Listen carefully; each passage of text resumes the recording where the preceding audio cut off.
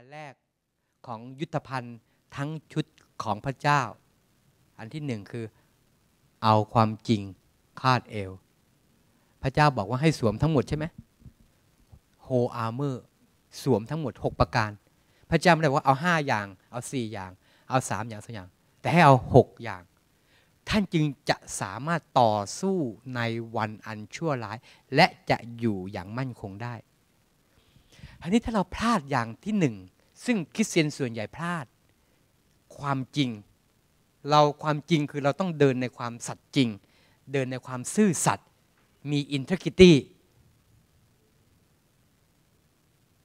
ถ้าเราพลาดเรื่องนี้เสียแล้ว อาวุธประการแรกเราก็เสียไปแล้วตั้งแต่ก่อนออกรบ ทุกคนก็เลยได้แค่ห้าชิ้น ชิ้นที่แรกคือชิ้นที่เดินในความสัตย์จริง รักษาคำพูด เป็นคนซื่อสัตย์ตรงต่อเวลา เป็นคนหายไปเสียแล้ว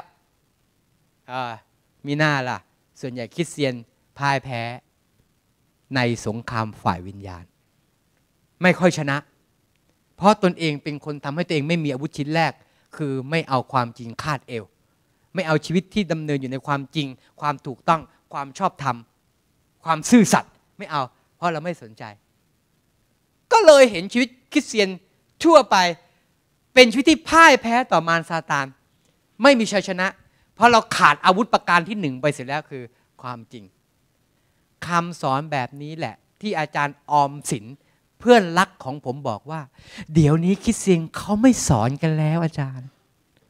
เออ เดี๋ยวนี้คิดเสียงเขาไม่สอนกันแล้ว มันเลยพ่ายแพ้กันหมดทั้งประเทศไงพี่น้อง เราจึงแพ้บาปง่าย เราจึงแพ้การทดลองง่าย เราจึงแพ้มารซาตานได้เพราะพระเจ้าบอกว่าจงสวนยุทธภัณฑ์ทั้งชุด 6 ประการ จะสามารถต่อสู้กับยุทธอุบายของพญามารได้ มีความเชื่ออย่างเดียว ความเชื่อเป็นหนึ่งในหกเอง มีพระเจ้าเต็มหมดเลย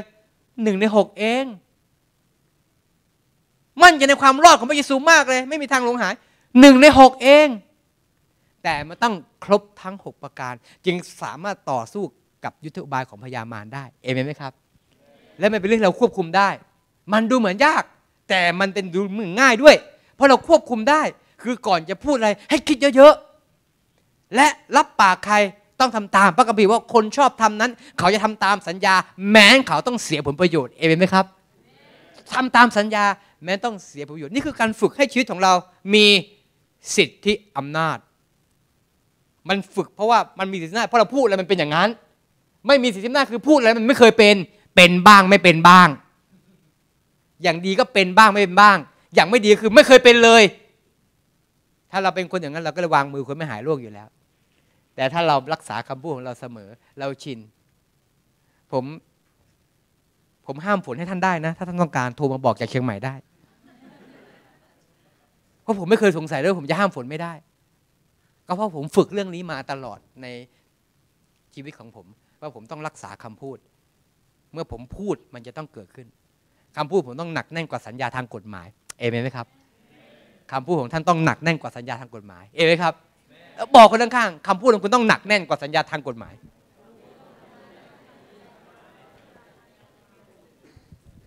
ชาวโลกไม่เป็นอย่างนี้หรอก ชาวโลกไม่สนใจหรอกเขาว่าบ้าเขาว่าโง่การดำเนินชีวิตความซื่อสัตย์พี่น้องรู้ไหมผมกับภรรยาหลายครั้ง พอกินข้าวเสร็จแล้ว เวลาเข้ามาคิดเงิน เราต้องเรียกเขากลับมาคิดใหม่ เพราะเรากลัวเขาคิดผิด คิดน้อยเกินไป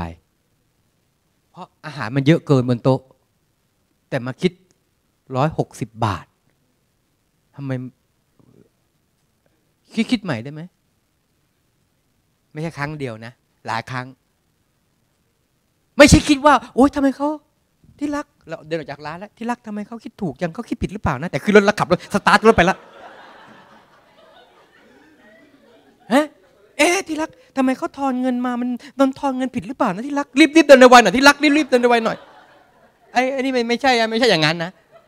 ไม่ใช่ อันนี้นั่งอยู่ตรงนั้นก่อนเลยฮะ ไม่ไปไหนครับ น้องมาที่หน่อยครับ น้องช่วยคิดเงินใหม่ แล้วกลัวเขาจะเข้าใจผิดด้วย ผมกลัวว่าคุณจะคิดถูกเกินไป เดี๋ยวเจ้านายจะด่า กลัวเขาเข้าใจผิดว่าเราคิดว่าเขาคิดแพง ให้เขาคิดใหม่ เออ มันก็ร้อยหกสิบาทจริง ๆ เออแปลกดี แต่ว่าผมเรากลัวไง เรากลัวว่าเราจะไปโกงเขาโดยไม่รู้ตัว เขายกป้ายแล้วประการที่สิบให้สิทธิอำนาจ ลูกาบทที่ 9 ข้อ 1 ข้อ 2 มอบหมายสิทธิอำนาจให้กับสาวก และอย่าล้วงลูก แม้เขาอาจจะทำผิดพลาดบ้าง มิฉะนั้นเขาจะไม่กล้าทำอะไรเลย เราต้องมอบหมายสิทธิอำนาจให้กับเขา ให้ไปจัดแจงเรื่องเงินก็ให้ไป เราส่งคนไป จัดแจงเรื่องเงินเพราะว่าเราไม่ได้ไปเอง ผมก็ส่งคนไปว่าจัดแจงเรื่องระบบการถวายสิบรถของบวกเขาหน่อยให้สิทธิอำนาจเขาแล้วเขาตัดสินใจผิดก็อย่าไปว่าเขาเพราะเราให้สิทธิอำนาจกับเขาไปแล้ว แต่เราบอกเขาได้ว่าคราวหลังต้องตัดสินใจให้ถูกต้อง ให้รอบคอบหน่อย นี่เรียกว่าให้สิทธิอำนาจ ถ้าเราล้วงลูกบ่อย สาวกก็จะไม่กล้าทำอะไร สาวกก็จะทำไม่เป็น แต่เราต้องมอบหมายให้เขาทำและไว้วางใจเขาผมจะสอนครึ่งเดียวเพราะจะได้เหลืออีกไว้ครึ่งหนึ่งวันพรุ่งนี้ ท้าทายให้เสียสละ ลูกาสิบสี่ยี่หกยี่สิบเจ็ดผู้ใดมาหาเราไม่ชังบิดามารดาบุตรภรรยาพี่น้อง ผู้นี้นจะเป็นสาวกของเราไม่ได้ ท้าทายให้เสียสละ ให้ออกไปเปิดโบสถ์ในจังหวัดบ้านเกิด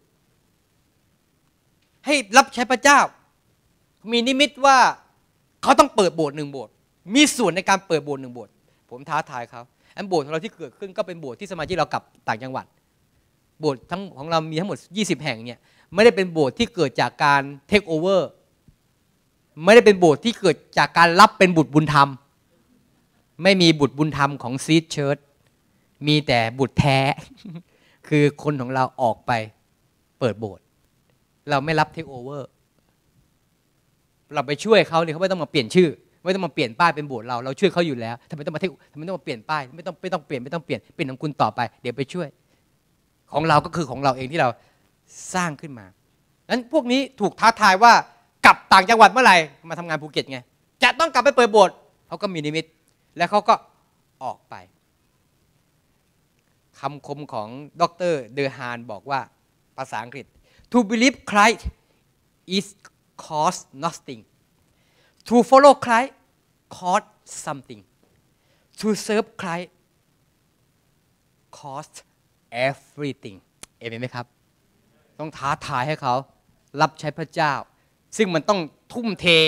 มันต้องเสียสละ